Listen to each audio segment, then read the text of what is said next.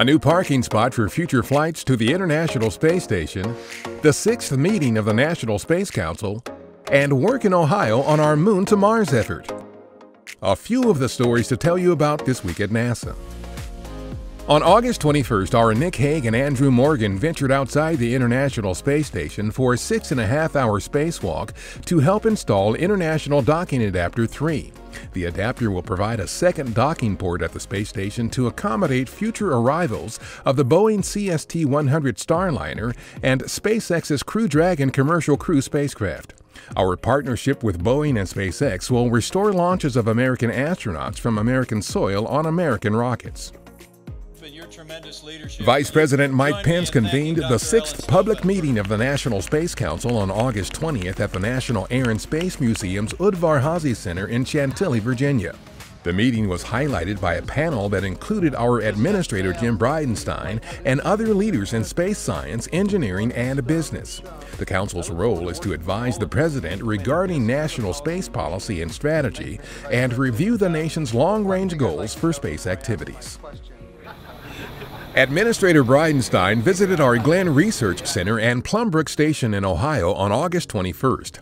He was joined by U.S. Senator Rob Portman and U.S. Representative Marcy Kaptur of Ohio to view progress on work being done for the agency's Artemis program. Artemis aims to return humans to the moon by 2024 and establish sustainable lunar exploration by 2028 in preparation for eventual human missions to Mars. In another major step toward landing American astronauts on the lunar surface by 2024, we are asking industry for proposals on how to deliver cargo, science experiments, and supplies to our gateway in lunar orbit. This solicitation is the latest in a line of work we're doing to accelerate our Moon to Mars exploration plans by working with American aerospace companies.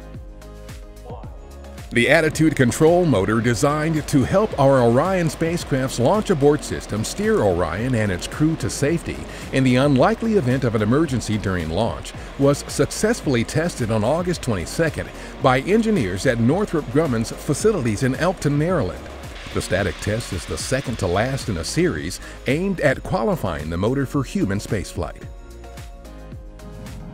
An uncrewed Russian Soyuz spacecraft launched to the International Space Station from Kazakhstan on August 21 Eastern Daylight Time on a test flight to validate the spacecraft's compatibility with a revamped booster rocket.